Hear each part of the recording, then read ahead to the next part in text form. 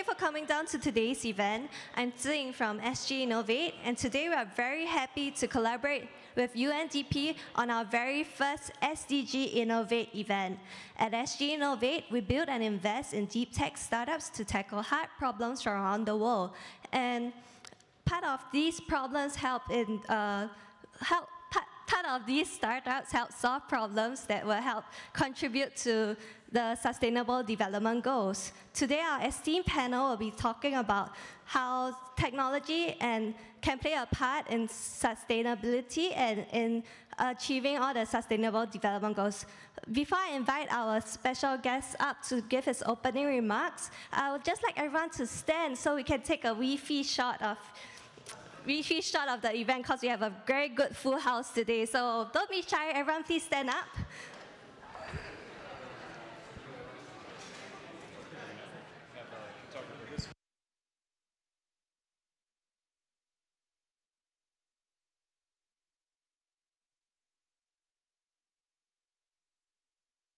Full house, everyone ready?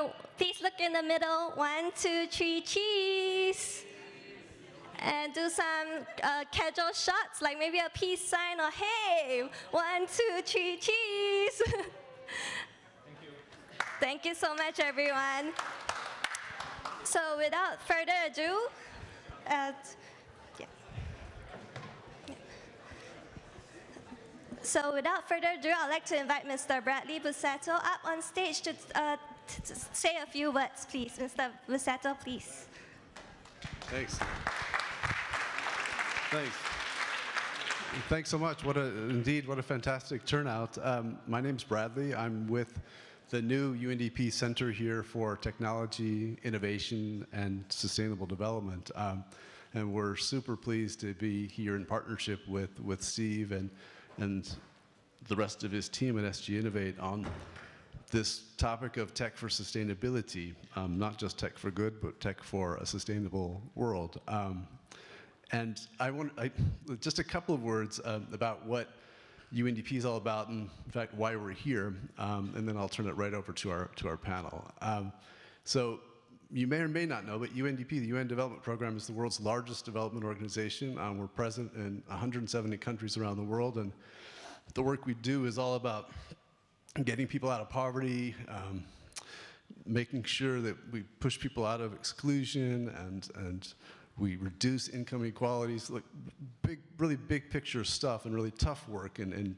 in many countries around the world. So you might be asking then, so why in the world are, is UNDP here in Singapore? Um, it is really unusual, um, but we're here because we think there's an amazing, amazing opportunity and an amazing promise. Um, and, and we think that the, the, the, promise is, is to, is to link this incredibly vibrant technology and innovation ecosystems uh, here in Singapore with the rest of the developing world to, to help identify and sometimes co-create, co-design solutions here in Singapore for the rest of the developing world. Um, we think Singapore is ready for that, uh, ready to, to become a global capital um, for sustainability solutions and sustainable development. So that's the really big ambition, um, and we think we can really achieve that if we can do that in partnership with, with folks like SG Innovate and, and all of you folks here. Um, so we really urge you to, to connect with us.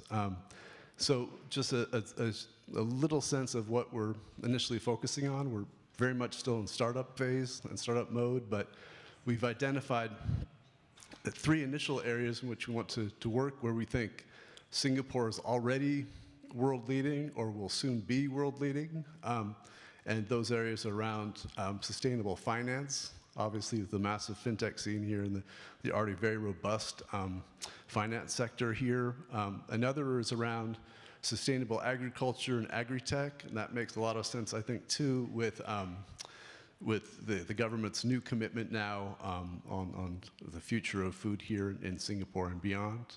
Um, and the third area is around digitalization in cities and, and urban areas. And we, we've picked these areas not just because Singapore is really good at them, or we think will soon be very, very good at them, but, but because all of these issues, all, all these topic areas are super, super relevant to, to the developing world, to, to new cities, new mega cities in Africa, to, to the, the problems of rural farmers in, in Africa or remote areas of, of Asia. So that's the idea. And the idea is to, you know, to work out here with, with all of you interested folks how we build this, um, this tech for sustainability community in Singapore and beyond. And then how do we, you know, what are the mechanics of, of linking up Singapore with um, the rest of the world in this way? Um, it could be through new technologies identified here. It could be adapting already known technologies for the developing world.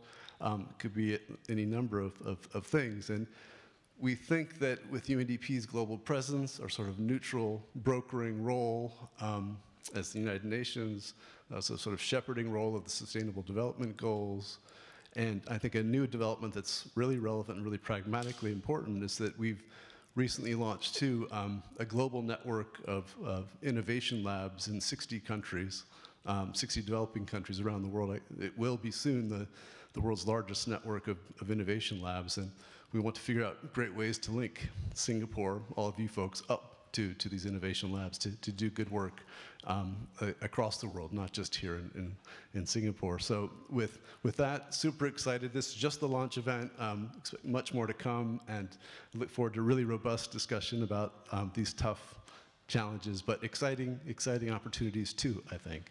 And thanks again to, to our esteemed panelists too. Thank you. Okay, thanks, Bradley. And uh, what I'm going to do is get us going here because we have a lot to cover.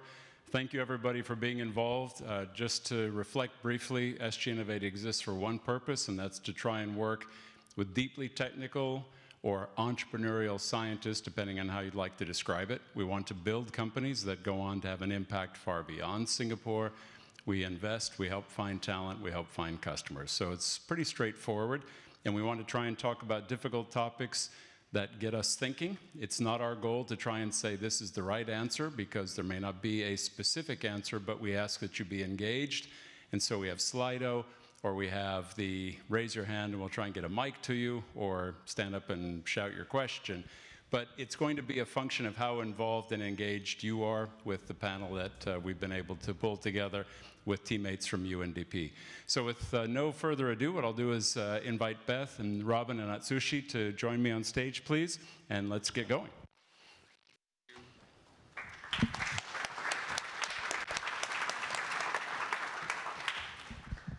Okay, um, what I'm going to do is go down the line and everybody will have a chance to introduce themselves in their own words, but I wanted to make sure that we put the Sustainable Development Goals on the screen behind you because for those that may not know, these are the SDGs.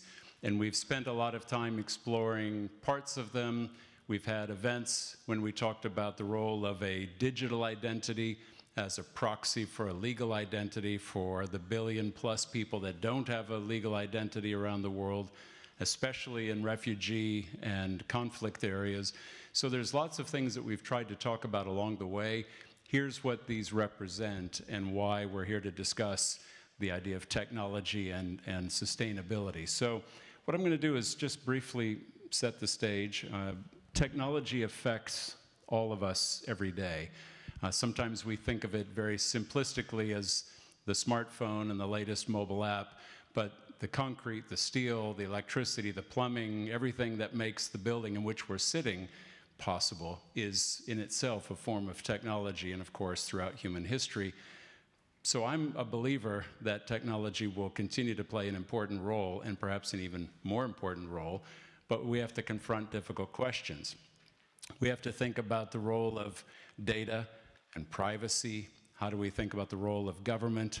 How do we that we would have in terms of uh, priorities? Are we willing to think of individual rights or societal rights? Is there one that has to take priority over the other when it comes to very difficult problems? So these are some of the things that we have to confront. But without AI, without medtech, without some of the technologies that are becoming increasingly prevalent, some of these really tough problems I believe at least, are going to be not possible uh, to solve. So I'm an evangelist for why technology is important, recognizing that there are some inevitable difficulties that we have to work through.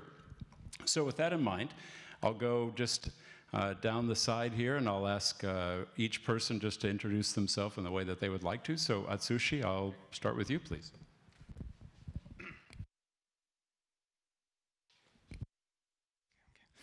Um, my name is Atsushi Taira. Um, how many of you guys know SoftBank? Okay, uh, actually, I, I used to work for SoftBank under Masason 12 years. And so uh, that was a single journey because uh, I was part of the big acquisition and also investment. And also I was in India for years uh, to see the mobile internet uh, expansion and also growth. And, and then um, that was a great experience, but uh, three years ago, I realized myself, am I happy to fight with um, competitors and try to beat you know other guys to capture the market share. Of course, you know, monetary wise maybe interesting, and then return on investment wise very interesting, but I could not fulfill myself. That's why, the same time, younger brother of Masason, uh, Taizo-son, I, I, I, knew him more than 10 years, and then he also felt like, um, well, that kind of thing was very fun, but uh, nowadays uh, we need to think about a different way as more inclusive society rather than just try to win alone and then try to beat them other people, right? And then we started a company called Mistletoe. Um, you know, mistletoe is a happy name, right? Um, it's a Christmas song, uh, kissing under mistletoe. But if you look at the mistletoe definition uh, in the internet, it says a kind of keystone species in the forest. So uh, my, my, our case, you know, uh, forest is a startup forest. So mistletoe is very small species, but we want, we want to be sort of a keystone species for uh, supporting the startup ecosystem. That's why we started. But uh, three years ago, we had no idea what to do. Um, but of course, you know, we like to be change maker or wave maker to make world a better place. That was a very beginning starting point, but uh, we could not understand what to do. And then after maybe one year of the discussion, we set a nine sort of agenda, slightly different from SDG goals, but, but including uh, everything, including infrastructure, water, electricity, and also learning, and also healthcare, agriculture, food, and also uh, living space, and something like that. But we have on our agenda for each of those, uh, which is maybe more sustainable, more distributed, more, you know, uh, good for environment. And then we try to set up the uh, project uh, to show uh, hypothesis and to prove the hypothesis. And then in order to uh, get the technology, obviously we need a startup uh, technology. That's why we use the investment to get the technology from startup and also to meet with like-minded people. So we do investment, but it's more like just a tool to see the uh, like-minded people and also like-minded startup uh, to change the world uh, better place. So that's uh, Mistletoe. And I'm so excited to see this because uh, I believe also like uh, Steve, technology can be used for a much better uh, way. Of course, you know, at this moment, technology is more like, okay, compete with other companies and compete with the enemies, but you know, we need to think about how we can utilize technology to inclusive and also uh, sustainable um, manner. And it is possible if more people think that way. That's why I'm so passionate to be here because uh, at least you know look at this you know full of people. Many people are interested in that way. So uh, I'm so excited to be here. Thank you very much.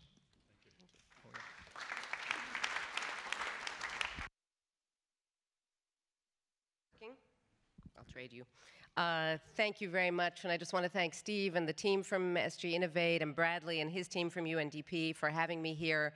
They caught me en route back from Australia uh, while on holiday here, but I'm delighted to be here. And I was in Australia very much to talk about what's going on there and what's going on in so many places around the world, which is the creeping crisis we're facing in democracy, with declining rates of trust in so many places that lack a functional government, and even in places like Australia or the US that have a competent government, where there is really a declining uh, trust in institutions. So my focus for many years has been on how can we use technology to, as a tool to make government work better, to enable us, to your point, to be able to do the kind of legitimate convening that really only government can do to answer some of those hard questions.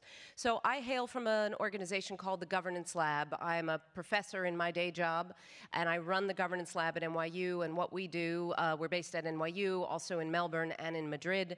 And what we do is work with public sector institutions on the question of how we can use technology to make our institutions both more effective, but also more legitimate. And it's those twin goals that I think we have to meet and that technology can help us to do both of more effectively so that we can recognize the good ideas that you're talking about, so we can implement them, so we can scale them for greater good. Uh, so my, uh, my unfortunate day job is to get up every day and work with government, uh, um, and I am eternally either pessimistic or naive, uh, but uh, uh, or, and underpaid. Um, but I'm very, but delighted to be here. Um, I really like the, uh, the bohemian look and feel of this place. Um, as I walked in, this place feel like a global commons to me, uh, looking at the diversity uh, of the audience and the aroma of curiosity that's uh, permeating in this room as well. Uh, so I think it's a delight to be here. Uh, how many of you have you heard of the firm Temasek?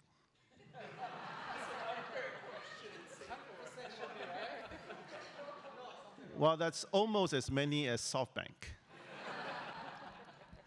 um, Temasek, I, I look after um, sustainability and stewardship uh, in Temasek, uh, which is probably the youngest group uh, in the organization, which was formed maybe three and a half years ago.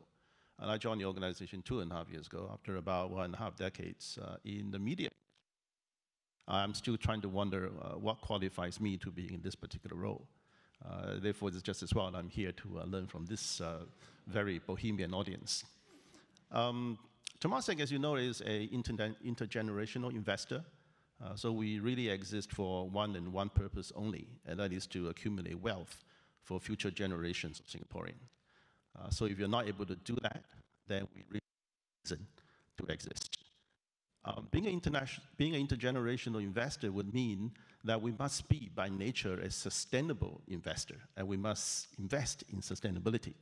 Uh, because if the returns are not sustainable, if the businesses are not sustainable, and if sustainability is not at the forefront and not at the core of the company's product and services, then sustainability cannot be assured. In the absence of sustainability assurance, then we are not able to perform our duty as an intergenerational investor. So for that reason, sustainability is what we believe in.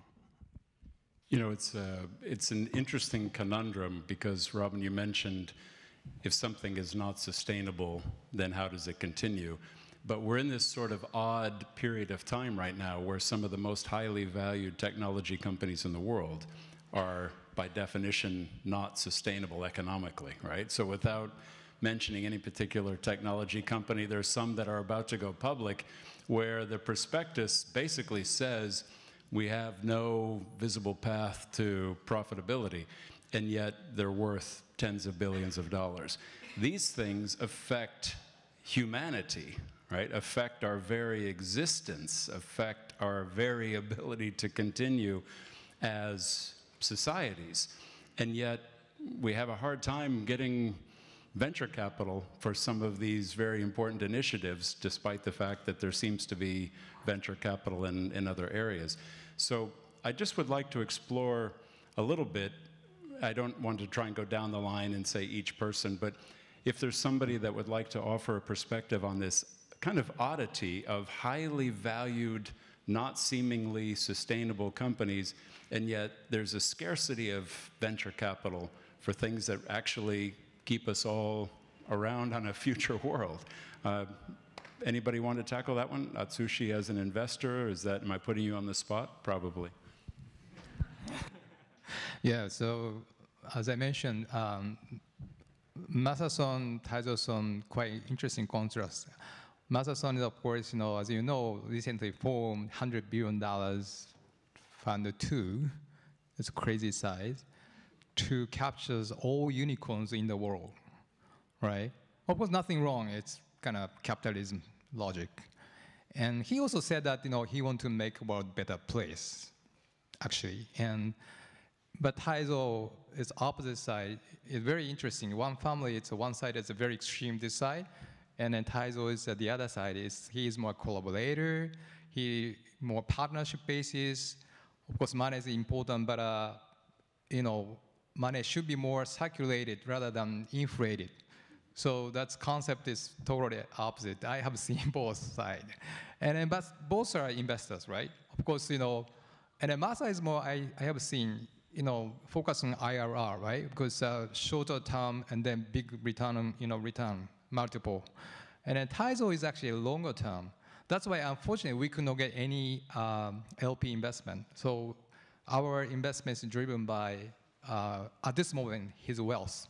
So it's quite limited, right? Of course, you know, they're kind of big, but Masa side at $100 billion and Taizo is much less.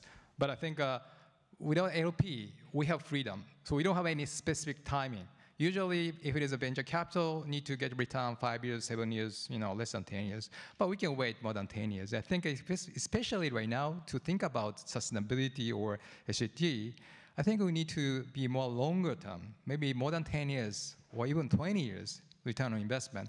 However, if we focus on big social impact, actually naturally return on investment would happen. So at least you know uh, we have under our portfolio companies one or two are already unicorns, and then it could be maybe hundred times multiple, and then that gives us a big social positive impact and also long-term return on investment. At least we have one case. That's why we believe oh it will happen. We don't need to copy Masa model, but there's another way. But uh, takes long time. So that's why we need to be, have a different structure versus current VC structures for sure. Um, I have two boys working in, uh, in the tech industry, and one of them has a expensive education in NYU to thank for. Uh, so I'm neither going to knock uh, the university nor uh, the tech industry. Um, I think if you look at the tech industry as a whole, you'll find that it begs the question, where is the taxation system headed? Uh, because these days, I, I think I no longer look at P&L of tech company. I only look at cash flows, I mean, uh, balance sheets, uh, because the value of the company isn't in the P&L. Uh, and we're not going to change that, and that's just the way it has become. Um, and, and, and because they don't pay out profit, they don't pay out a dividend. Uh, in fact, Microsoft paid out dividend maybe a decade or decade and a half ago, and after that, it just, the stock just tanked. Um, maybe there's a story there.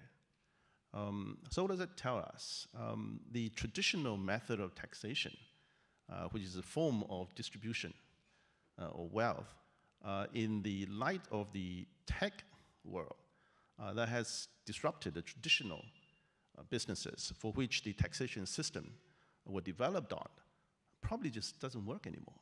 And uh, one wonders if some kind of a transaction tax might be called for in some um, cross-boundary transaction uh, consideration has to be contemplated some way. Anyway, I just thought I'd throw that one out and see if smarter people might pick it up and, and ask the professor the question next.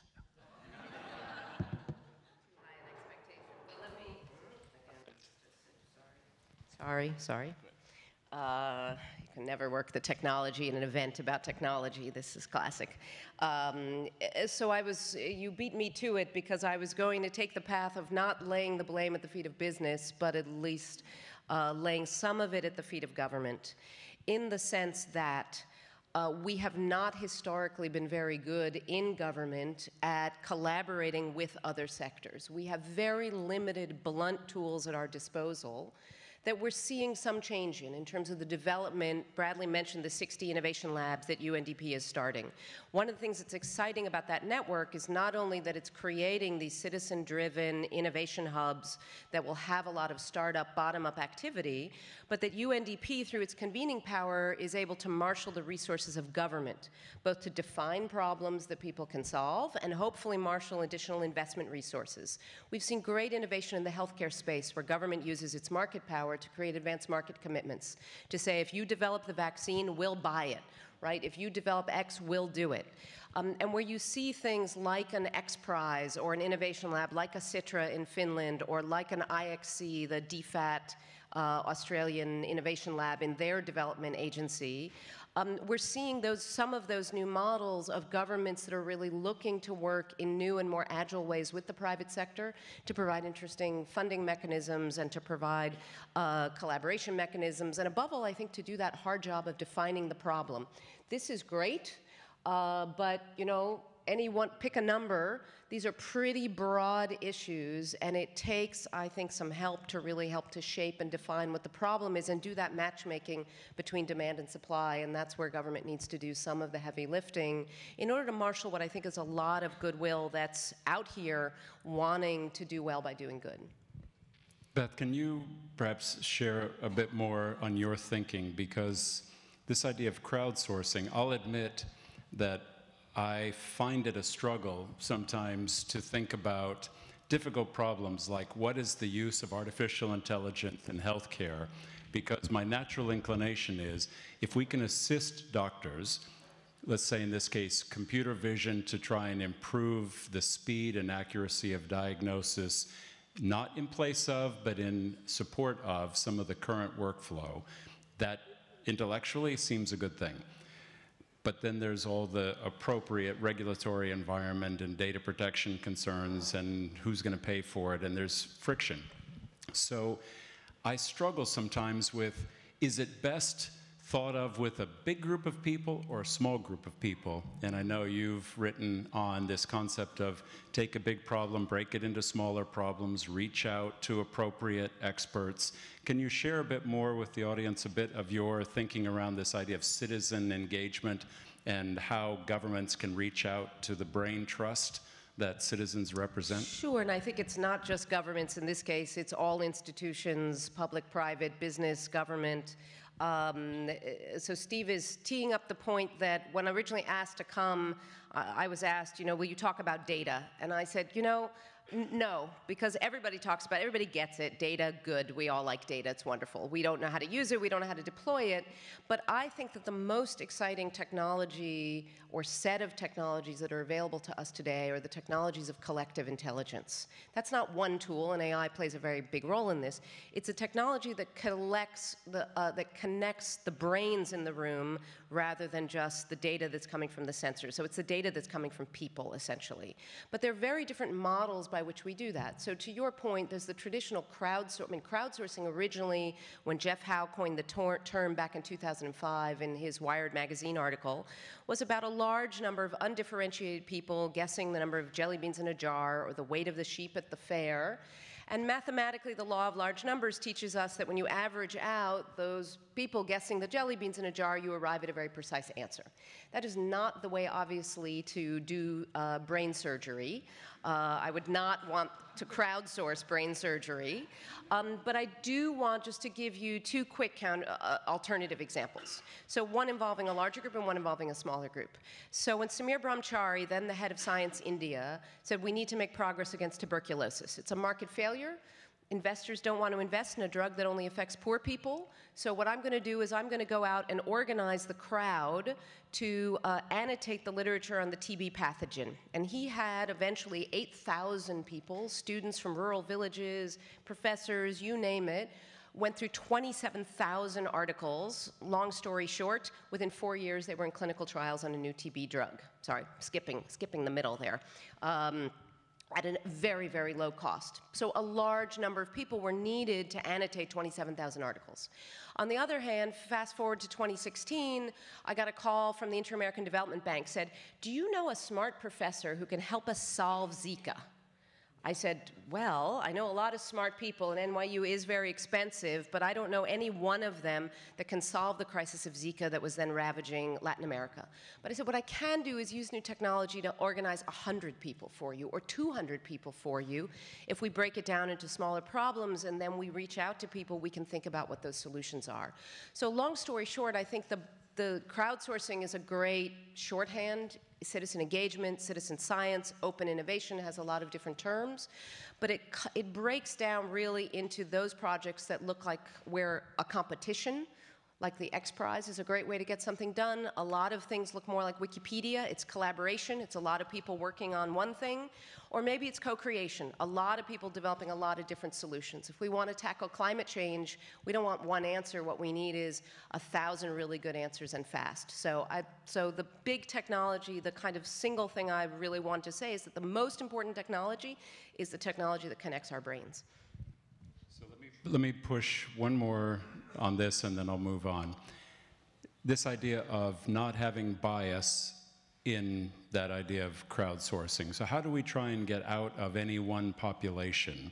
So if we're going to think about the example that you shared with tuberculosis, which is a great example, and there's already uh, lots of problems with um, antibiotic-resistant malaria affecting different countries in Southeast Asia. How do we try and make sure that this brain trust is cross-cultural, cross-demographic. Have you seen that we've been able to get a large enough collection of brains in your various travels? Have we been able to achieve something that we would aspire to do more of? So I think you're, uh, uh let me say, I'm going to take issue with one point and then agree with one point. So I think that there are, to your first point, these exercises, this convening of broader communities, these are design exercises. They are what we make of them. And if what's important is a large number of people and a great deal of diversity and a lot of different perspectives, then we need to engineer for that. That's the good part. And there are lots of great examples. The, the TB one is a great one because it was people all across India from all different socioeconomic uh, kind of levels, and especially leveraging students not from the elite universities, but from you know, more remote, less privileged places because they were the most hungry to participate. Um, but the issue I would take is that not every project, just as not every research experiment needs a randomized control trial or needs a representative sample. We have lots of great projects where it's about getting a small group of people who, are from a particular place. So in Ghana, for example, is one of many places they're practicing what's sometimes called social auditing. So they said, we're going to get a community of people located in a place, or for example, in the state of Rajasthan in India, the group MKSS has done the same thing. We don't want a large number of people from anywhere. We want villagers from this community, as they do in MKSS, to listen, they can't read, to listen to the budget being read out loud and to identify that's a bridge being built to nowhere, that's a dead person on the payroll. It's a great example of using collective intelligence. It doesn't take a million people, it takes a few of the right people. Um, and thus the same thing with the Zika project. It's about finding 10, 20 people. So I think the point is that there are lots of different ways of organizing these things. Uh, and investors do a lot of the same thing when they reach out using their Rolodex already. So. Atsushi, you've spoken about decentralization and distribution, and I know you and Mistletoe as a team are right. fans of sort of self-organizing sure. communities. Yeah. How do we think about this idea of tackling tough problems, really tough, big, large, hairy problems, maybe breaking them down into smaller chunks, but how would we think of then a distributed, decentralized community like the ones you're fans of? Yeah, I, I think it's quite important because, for example, uh, Mistletoe used to be a corporation structure, but we uh, realized that corporate structure doesn't work because hierarchical and also uh, more boundaries over there. That's why uh, we are quickly shifting to community-based. Actually, we actually push out people to be independent. So we, we have zero employee basically. Of course, uh, board members, but just a board member only. And all people are actually independent. And then, of course, you know, need to have some contract. But because you know, depend on the project, we need a different type of people, and then the organization should be dynamic. Otherwise, it is not possible to attack you know very complicated pro uh, program. And also, we need a different type of the people suddenly. For example, oh, we need an AI expert, we need a bioprinting guy. So in that case, uh, we couldn't hire all those people. The only way will be creating community and uh, it's more like an individual passion base, not sort of assignment basis. That's, we believe, it's very important because um, if people behave different way, right? If as a corporate person, need to follow corporate sort of a direction rules, of course, right? That's especially here, Singapore, it's very important to be part of a structure, right? No, nothing wrong, but we cannot expect innovation or a crazy idea from structured manner. And a crazy idea and also interesting idea will come out from an individual, right? The same person. Corporate face, maybe not creating innovation, but uh, as an individual, the person will be very creative for something he's passionate about. So we try to create a passionate, you know, uh, people network for certain agenda, either agriculture, food, or learning space. And then we are so uh, surprised, you know, the corporate world, you know, they are doing boring job maybe, but uh, you know, after hours, being part of community is very creative. Being part of us, and then actually we pay certain money, you know, to work together, of course. And then eventually the guy want to start the startup. Then we're gonna do angel investment, and eventually corporate guy change to the entrepreneur. So through the community activities, we like to see more such kind of, you know, supporting a, a passionate individual in conjunction with the uh, democratize the technologies. That's why we are so passionate about the supporting 3D printing, uh, bioprinting, or hardware, metal, whatever it is, because that's kind of technology will be available individual level that they can try and test by themselves. No need to rely on the big corporation, right? That's why we are doing two things. One is a democratizing technology, many areas, many areas, and also forming community. And then in combination, we believe many interesting idea solution will come up. And then we're going to support as investors. And also, we like to work together with them to create a, some interesting solution and ideas. Are there questions? I've got some questions on Slido, but I always want to leave questions for old-fashioned technology. Yes? Yeah, we'll see if we can, it's going to be a little tricky to, I'd have to fling it to you, but. Uh, first, thank you for all the, the messages. It's actually a very important topic, and uh, the Prime Minister was talking about it during the National Day, the challenges of Singapore with climate change. And Singapore is a susceptible country because it's at sea level, and we don't know what's going to happen if things getting worse. Uh, I want to ask about the last topic, which is motivation and passion. And I've, every time you were explaining how you want to keep the talent, how you want to have people with passion, I keep thinking about Tesla, Tesla, Tesla. How Tesla has these people who join the company who are very strong individual, they know what they want, they're very talented, and then they leave how do you manage to hire people who are not just motivated, but who are leaders? Because people who are leaders have their own ideas, have their own perspective of what should happen with the company, and that create conflicts. You cannot just have a group of motivated people. You need to guide them. So I want to know if you, you guys can maybe share how do you manage to not only get people with, with that motivation, but also good leaders who can change the perspective of all these projects for improvement. You don't want to start a project like this with a vision. You want to have it with a vision that can change and adapt. So I don't know if you can comment on that. How do you how do you create or retain leaders or invite leaders to these groups? Atsushi, do you want to try and tackle that one since you were just speaking your your approach of network as opposed to sort of a formal hierarchical structure in a corporate environment, maybe one aspect. Yeah, so corporate world is good for repeating something, right? And then grow something same way. That's of course no-brainer. That's the best format, right? I, I worked for corporate many years. But when it comes to the sort of a changing moment or try to change the structure, uh, change the uh, some basic foundation, corporate doesn't work because the corporate loves continuous same thing repeating to make money. Not, nothing wrong. That's good. But we are now, especially this theme, everything is try to change the course, right? And a change the course couldn't happen by cooperation. And then that's, as of course, maybe wrong, but that's our conclusion. Only community power can do that. But of course, the community need a funding. That's why initially we get a fund by ourselves. But we are hoping that because of the some result, that would trigger other funding from somebody else.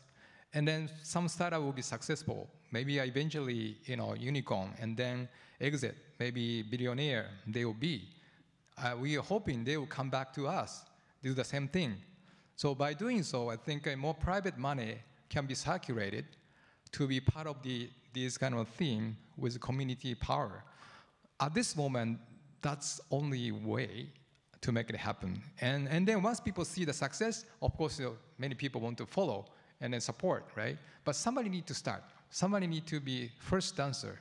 That's why at this moment we try to create a more fast dancer, and then we try to support such such first dancers more and more. That would be maybe uh, at this moment my opinion. And then, as I mentioned, people need to have a two side. One is a, maybe a daily job, but also need to a role, you know, after work to be part of this kind of, you know, more meaningful the future project. If you know all corporate people can be part of this kind of project, I think that power is so huge. So that's why I try to push the uh, corporate, uh, especially Japan, for example, is very rigid. Most of the corporation um, don't allow after work job, but uh, you know what if okay, all corporate people can be part of the you know socially meaningful, you know sustainable goal project, you know the road. Maybe it's a free up a lot of knowledge and also uh, maybe uh, ideas. I'm hoping that would happen. Maybe uh, from Singapore, maybe, you know. well, let, let, let, me try and, Beth and Robin, I want to ask a question that's come through on Slido, and I'm going to ask if you could help us disprove or debunk, right? Because the question is framed to some extent as how do we try and think of accepting lower returns when we're thinking about sustainability goals, projects? So I guess the question is, how do we think about accepting lower returns? But can I think of it, perhaps you'd like to offer a perspective, do we need to think of it? Meaning, are we on the wrong foot at the beginning to think that we must accept lower returns, or can we in fact have no less an expectation for something that might be uh, a sustainably uh, oriented goal? Sure, happy to take that question. And uh, but maybe just before that, maybe in quick response to the gentleman over there, if you have already hired someone and you try to find passion in him or her that wasn't there in the first place, I think you've just made a wrong hire.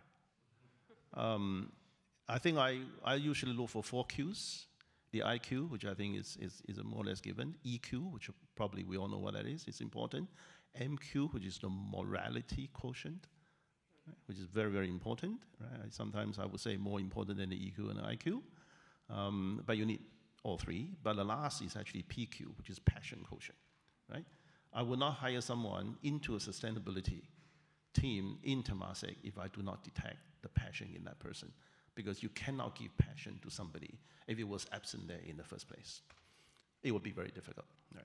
Um, right. So on um, that's one of the um, colors uh, of impact investing. Uh, it is actually a spectrum of colors, right? Uh, you have uh, financial returns on one end, and you have intentionality of impact on the other.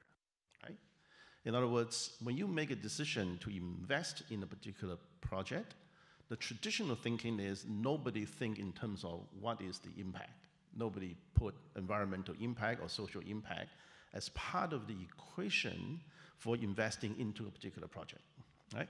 And uh, this is prior to impact investing was, was as a concept uh, was born, which is actually quite recently, right?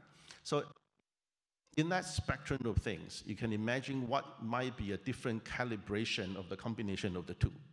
On one end, I can have just pure financial return, that's all I care. Then you move into financial return is paramount.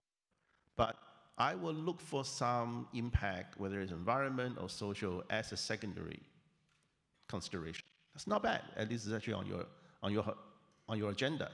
Or you then can move into look, I'm looking for impact intentionally, and it is as important as financial returns, but I'm not prepared to compromise on financial returns. You then narrow down your options of investable projects to a much narrower set. Then you move on to the other of the equation. I'm prepared to put impact first. I'm looking for social impact, environment impact. That must come first. I have a methodology, I have a framework, and I have um, an ability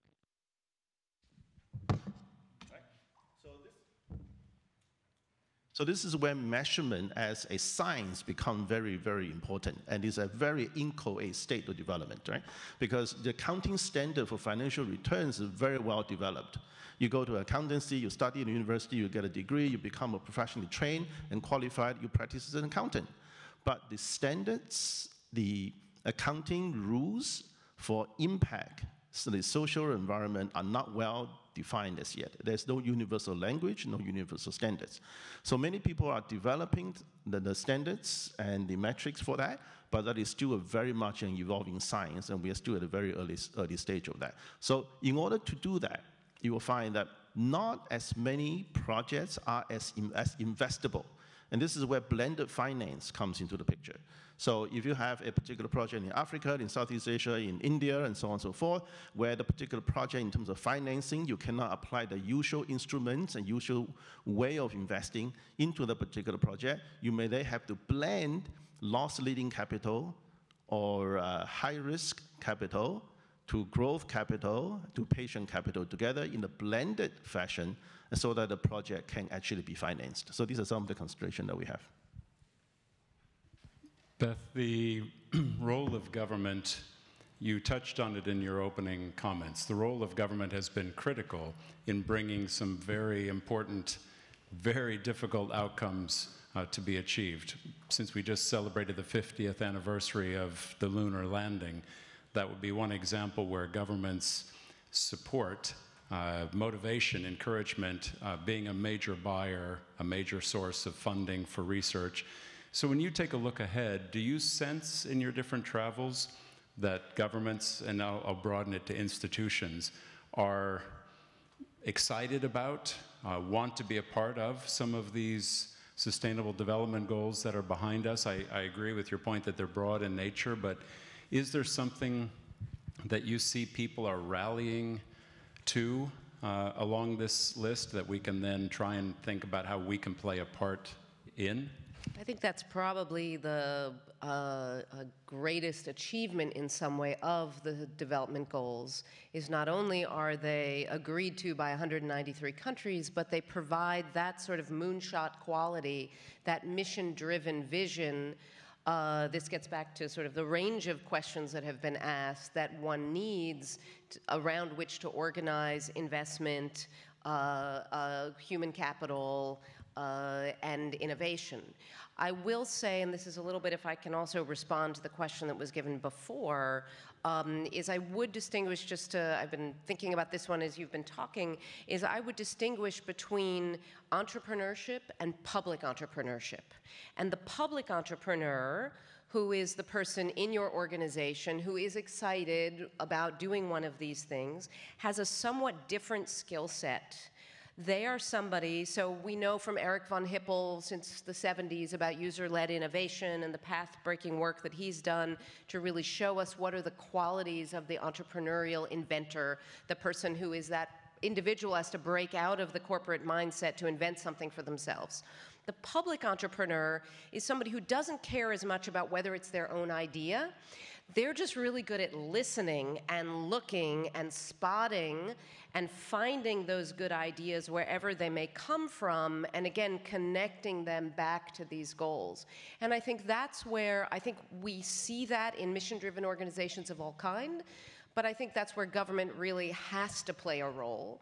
And that requires a fundamental reskilling of how we think about what government does and what the role of the public servant is. This is not at all what government does today um, both because there's a real challenge in a lot of systems between what is the role of the public servant and are they really allowed to have a vision or are they just there to kind of execute a service. Um, that's one challenge. But the other is government institutions have been so closed for so long, worse than companies in terms of hierarchy, in terms of rules, in terms of structure, in terms of stifling creativity that we really have to have a fundamental transformation in terms of allowing people to go outside their silo, uh, whether it's within government or it's to the private sector or to the academic sector to look for the good ideas that are going to be solutions to these problems. So yes, I do think that's optimally what government can do best because it has the legitimizing and legitimate convening authority. Public institutions do, a UN organization, a government organization, a public mission-driven organization. Um, but that really requires that sort of mindset and skill set for collaborating across sectors. There's the view says without a burning platform, which is a familiar concept in Singapore, right? Without a burning platform, it's hard to marshal the, the appropriate effort. Uh, if we stay with the lunar landing for the moment, the anxiety that the US was feeling about the Soviet Union at the time and Sputnik, and no resource would be withheld because it was just that important. Somehow it's, when, you, when we say things like reduced inequality, or this idea of uh, some of the SDGs don't inflame that same level of, of passion.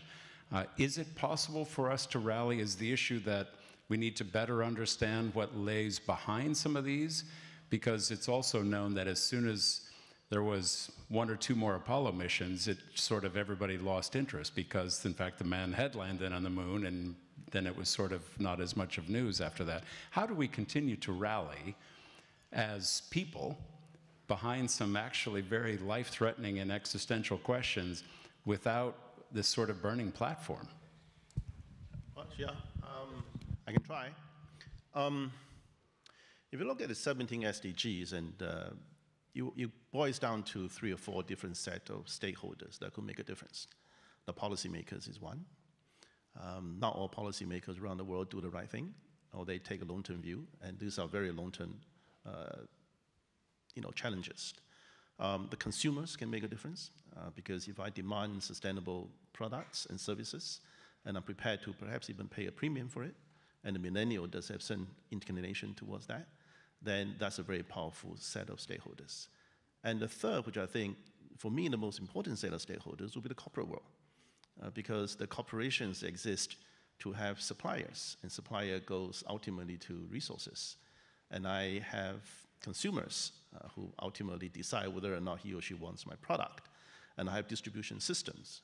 So that entire value chain of business involves lots of people, lots of companies, or lots of suppliers, the supply chain, the distribution chain involved.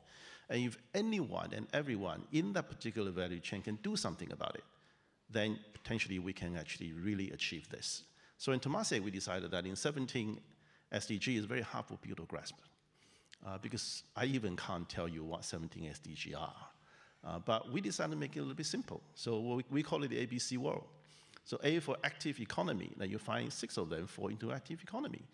Then we call it B for beautiful society, then we find another six of them fall under beautiful society. last but not least, we say clean earth. And uh, lo and behold, seven of them come under clean earth.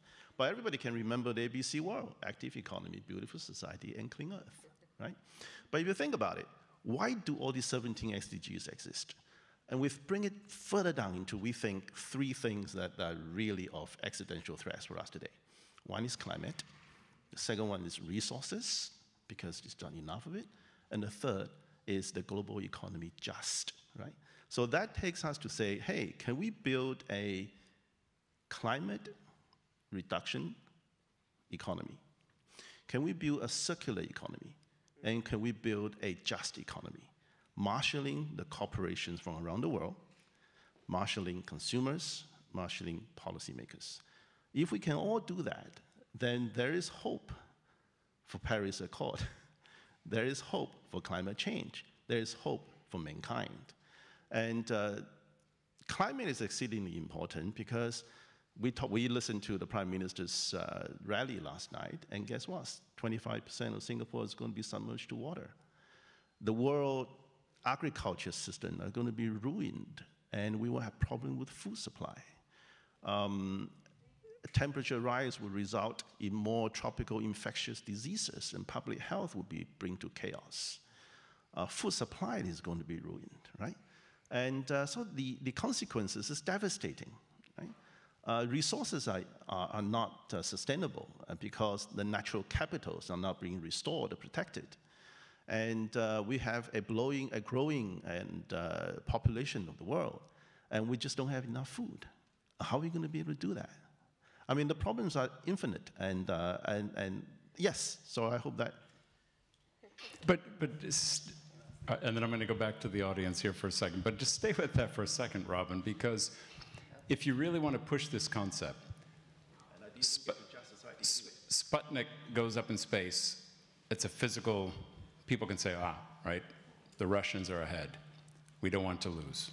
That, that's a response. When you say by 2050, sea levels will be at a certain scenario, and as PM said, in some people's lifetime, that's going to be a reality, but that's still 30, right?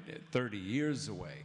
So I'm just wanting to push the point is there something, I mean, if we went out and we said, gosh, you know, East Coast Parkway is now a meter underwater, then it's real. But how do we think of some of these issues? And, and I'm not wanting to dwell on it too much, but these issues are much, much more existential than the space race was, and yet rallying to them seems to be a, a collective challenge for societies. You want to? You want to add? I, could, yeah. Okay, I can always. I'm a Okay, I- I- I, can always. Okay, I'll take 20 seconds and then pass it back to you. Okay. Um, well, when I entered into the workforce that 37 years ago, um, I don't think climate or sustainability, the words were even invented. Um, 10 years ago, I don't think in the boardroom we discussed these matters either. I mean, in Singapore, I grew up from a generation of people who would, were just happy to have a decent life. And the conversation around dinner table was never about how sustainable the world economy was going to be, right? That just wasn't the conversation I had with my mom and dad and my grandparents. Um, five years ago, I didn't think the issue of sustainability was all that paramount in the conversation of the power corridors of the, of the corporate world. But I think that has changed tremendously, right? Uh, in the last five years and six years, I think there's great intensity. I think two defining moments came. UN SDG was one of them. Before that, the, the corporate world didn't have a common language to relate to. Uh, Paris COP21, I think, was yet another defining moment because without that, without Christiana Figueres, you know, there was no such conversation that we could have uh, as, in, as responsible and hopefully intelligent people around in the corporate world. We just didn't, right? Uh, uh, and so I, I feel that there, there is hope, right? With, with every uh, period of time, that I think the intensity of the discussion has increased. That's number one. And number two, I think governments, governance are also not, uh, not taking action.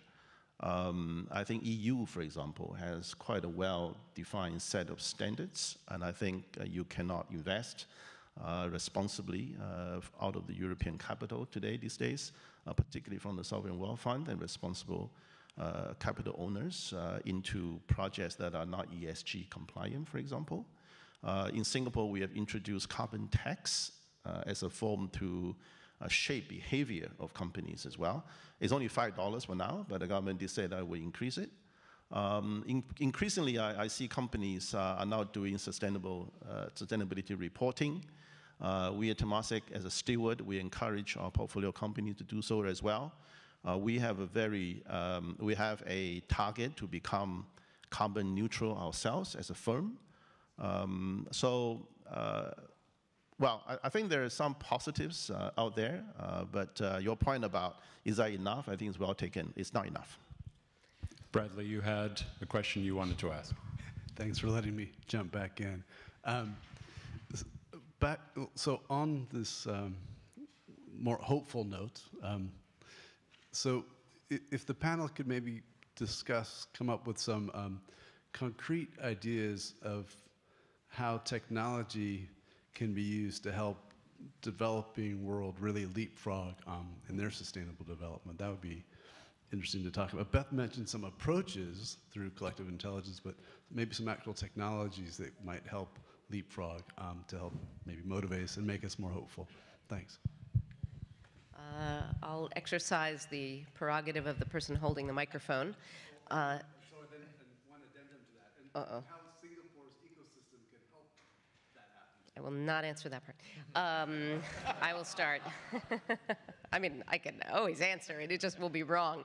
Uh, so I would say on the specific uh, so to, to, to, respond to both of your points, I think to Steve's point, we know from behavioral economics that we need these kinds of, and from marketing, that we need these kinds of motivators.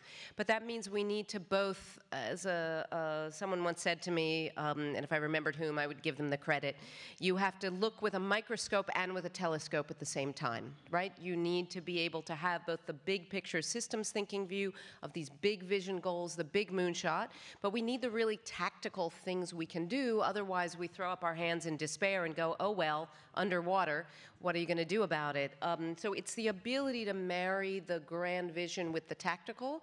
And to Bradley's question, I think what that means in terms of operationalizing some of this vision around collective intelligence, I would just go back to the IXC, the platform that is used, which is a set of methods that DFAT uses, but it's also a platform that they use.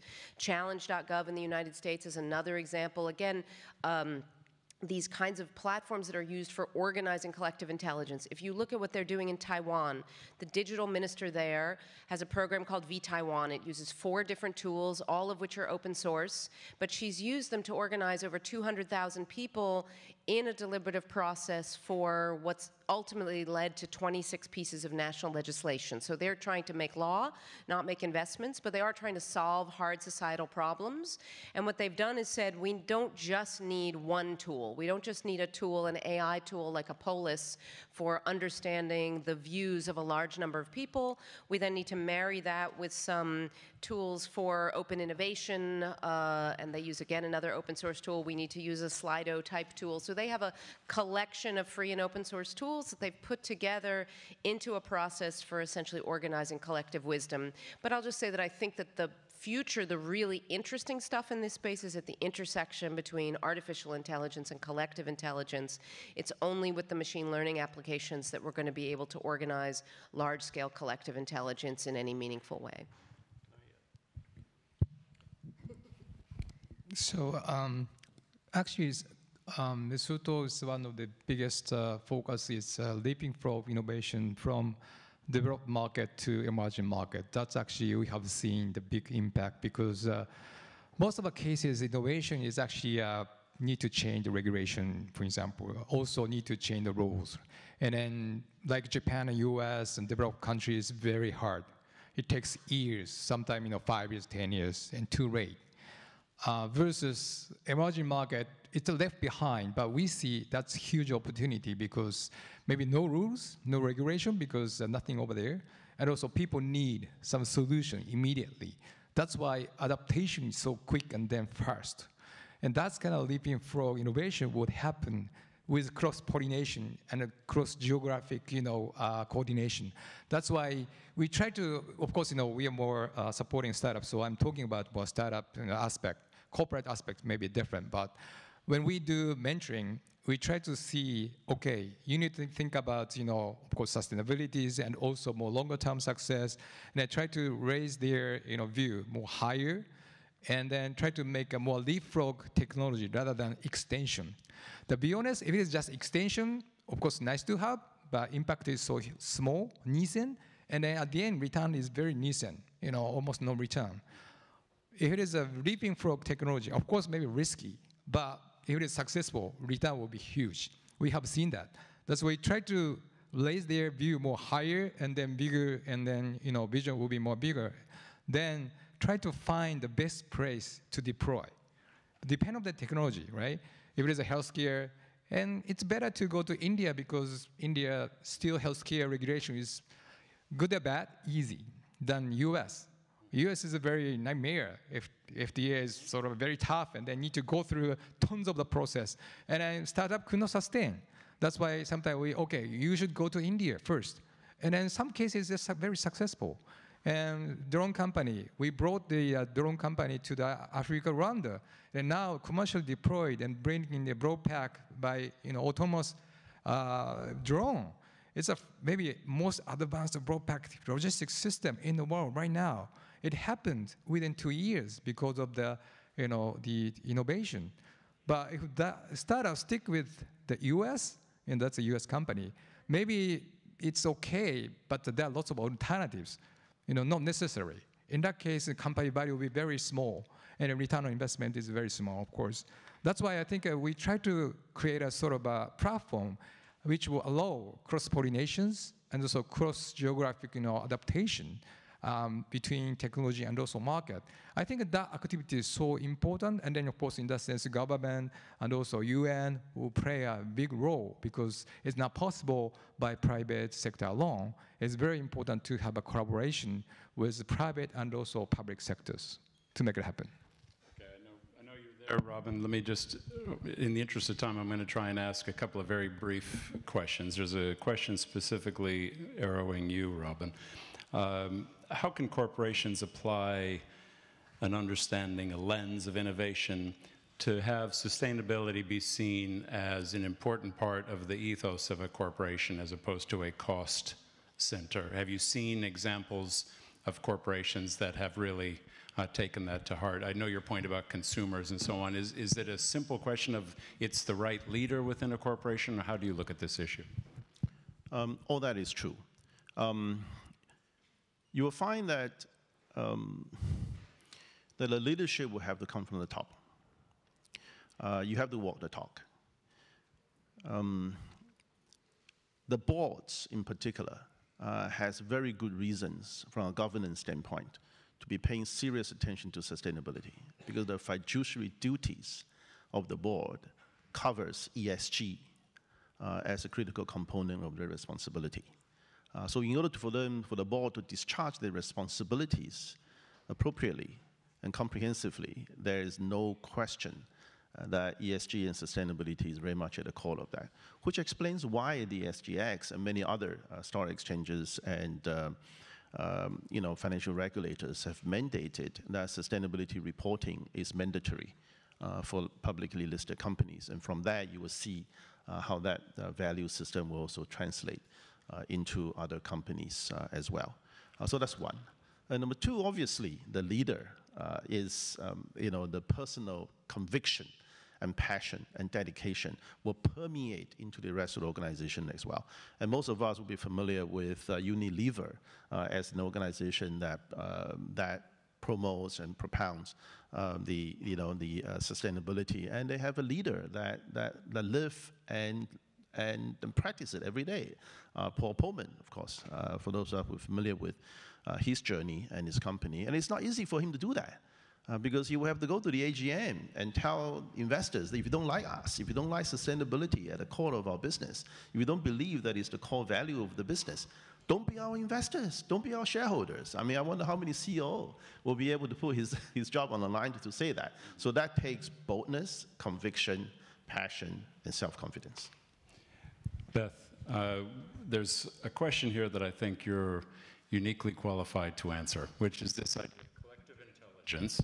Collective intelligence, and uh, the question is one, understand that collecting intelligence uh, around development is valuable.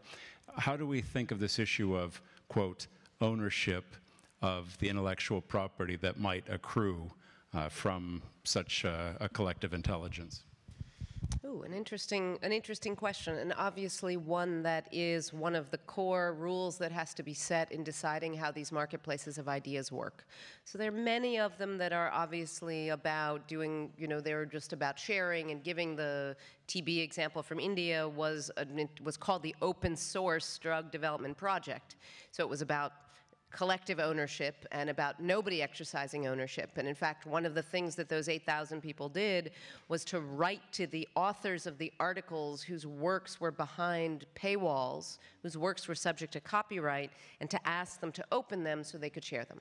Now, obviously, that model uh, and let me give another more up-to-date model. My organization, the Governance Lab, runs a global network of data stewards. We are working with companies and governments around the world who are opening up their data often data, they have data that they collect that's not core to their business model, or sharing it in some way will not undermine whatever they're trying to sell soup and, soap and toothpaste, but they happen to have this data that may be really useful to UNDP in terms of understanding movements of human populations.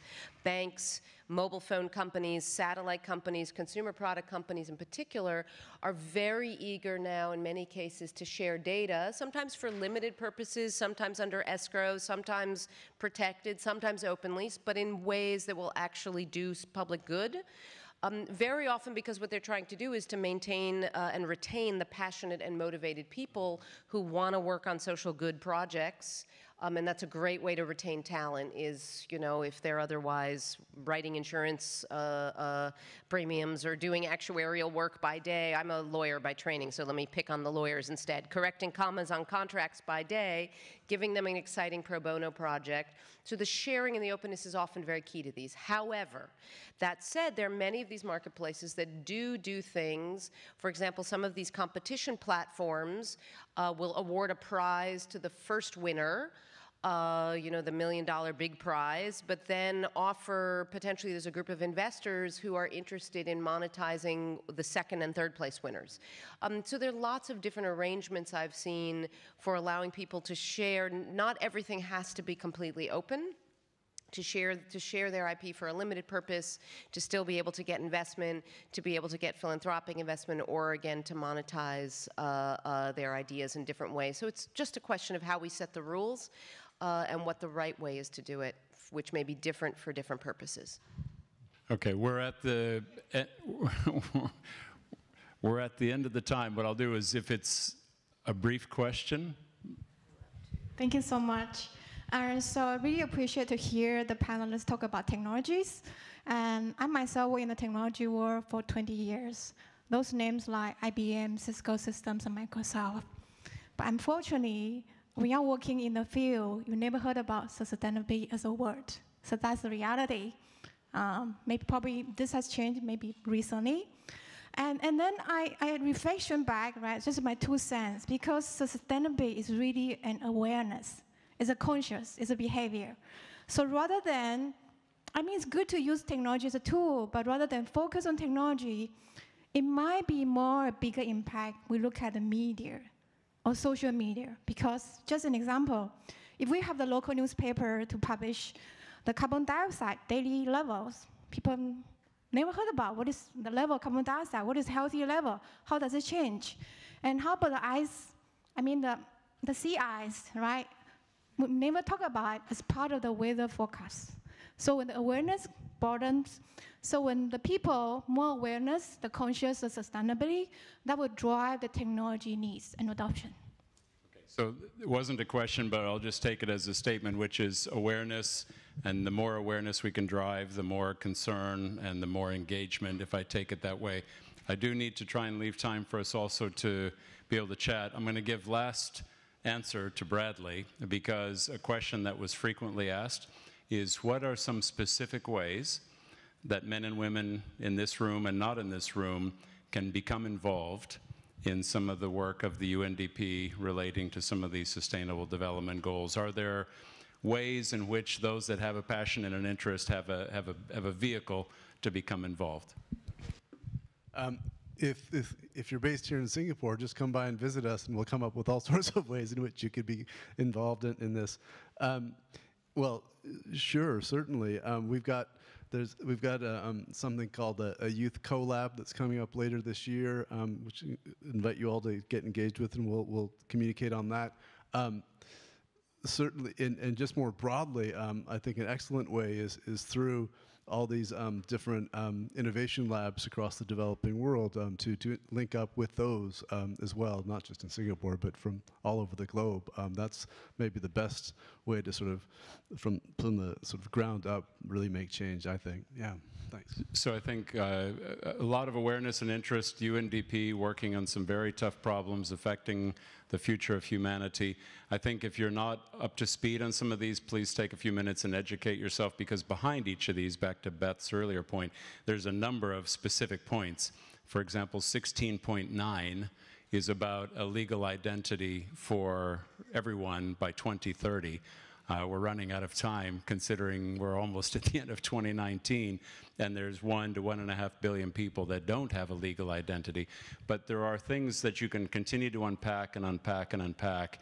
And part of Beth's earlier comments about taking a big problem and making it a series of identifiable uh, attackable problems that then you can engage a lot of different people in. So there's a lot behind each of these. Uh, Bradley, you have more? I'm sorry, sorry, Steve. I'm the worst uh, co-host, I know. Um, but the one more very specific thing, we'll be launching um, very shortly in the next couple of months, um, a global innovation challenge around sustainable agriculture um, and agri-tech and the future of food coming out of Singapore, but really with a global remit um, that won't just be about an innovation challenge, but also curating and shepherding um, the winners and competitors in this from all over around the world. So urge you, especially those with interest in that space, to, to get involved in that. But we'll lot, lots more about that later. Thanks, Steve, for all the Yeah, no, no. And, and also I'd like to add uh, one thing because uh, why I'm here, right? Because um, I'm in Japan, right? And was in the US, India, then why I'm here. I think the role of the small country is so important, including Singapore, and also we are supporting Estonia as well. Estonia is, as you know, quite advancing e-government. Because, you know, small country can move quickly, regulation-wise, and also uh, policy-wise, very quickly. And it's not possible done by Japan or US because I think there's a need to discuss maybe a two years, three years, four years, five years, and then nothing happened. But you know, Singapore or Estonia, a small country can do that. That's why in order to move this kind of thing, policy-wise and you know, change the uh, support way of the corporate or startup, it is possible done by Singapore. That's why actually we came over here. Then we believe Singapore can be the center place especially Southeast Asia, because surrounded by emerging market. As I mentioned, we need to see leapfrog emerging market. And Singapore could be incubator and also I think a policy maker or concept maker to make a leapfrog happen in Southeast Asia country and also maybe India or, or China. And that, that's a big role. And then we are hoping that will be possible to happen. That's why we came up here two years ago.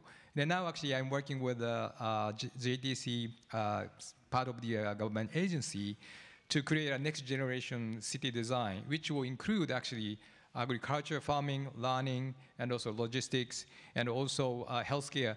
All, almost all you know, uh, related uh, theme will be under new city design from zero scratch.